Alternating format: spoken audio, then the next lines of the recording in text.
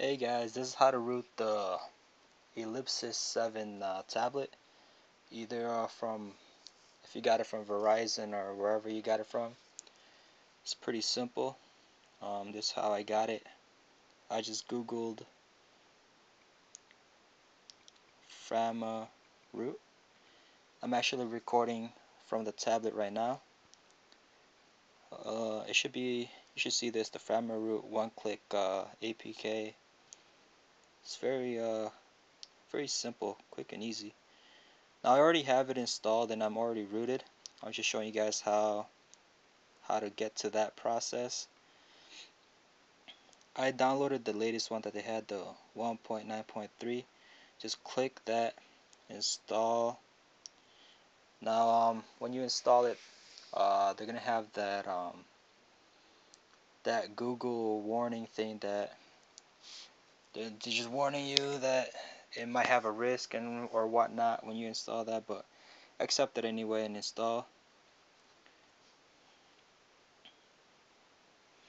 Uh, okay. Now it should be right here on your your home page or, or menu, whatever. Now for the Ellipsis 7, all you gotta do is keep it at uh, install super su and click on the bottom one the b-a-r-a-h-i-r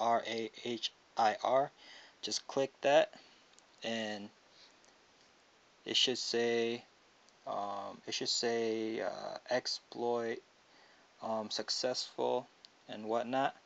I'm not gonna click that because uh, like I said I'm already rooted but just to show you guys that it is working I have Super SU installed already and root checker.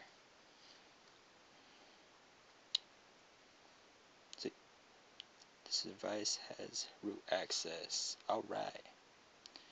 So yeah, if you guys want to root your Ellipsis 7 tablet, because you know without it rooted you can't um you can't move your apps to your SD card. So yeah, hope this helps you guys out. Leave a like and comment down below if it works for you guys. Alright.